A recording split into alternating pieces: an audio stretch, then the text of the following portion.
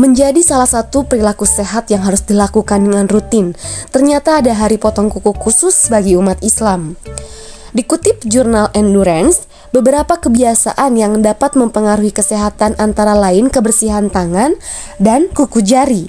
Salah satu menerapkannya dengan membiasakannya mencuci tangan sebelum makan. Masalah kebersihan ini tentu mendapatkan perhatian dalam Islam. Meskipun dianggap sepele, memotong kuku memiliki keberkahan, termasuk kapan hari yang baik dalam memotong kuku. Lalu bagaimana hari potong kuku yang baik dalam Islam? Eits, sebelum lanjut, jangan lupa jika kalian suka dengan video ini, boleh like, comment, share, dan subscribe. Terima kasih.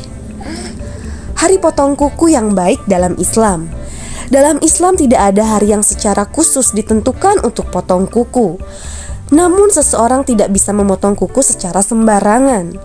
Ada adab tertentu yang harus diperhatikan sebelumnya. Misalnya, waktu yang dilarang untuk memotong kuku bagi yang akan berkurban saat Idul Adha. Jadi harus terlebih dahulu memahami hukum potong kuku sebelum kurban. Imam Nawawi rahimullah berkata, artinya adapun batasan waktu memotong kuku maka dilihat dari panjangnya kuku tersebut. Ketika telah dipanjang, ya dipotong. Ini berbeda satu orang lain dan hal lainnya. Juga dilihat dari kondisi. Hal ini jugalah yang jadi standar dalam menipiskan kumis, mencabut bulu ketiak, dan mencabut bulu kemaluan. Dalam penjelasan di atas disebutkan bahwa hari potong kuku perlu diperhatikan juga. Untuk hari-hari yang lain, menurut Imam Ibnu Qasim Al-Ghazi dalam kitabnya Hasyiah Al-Bajuri, ada beberapa penjelasan mengenai adab hari potong kuku. Menurut hari dilakukannya, yakni potong kuku hari Senin disebut mempunyai keutamaan. Potong kuku hari Selasa disebut bisa mendatangkan kerusakan dan kebinasaan. Potong kuku hari Rabu disebut dapat menyebabkan buruknya akhlak.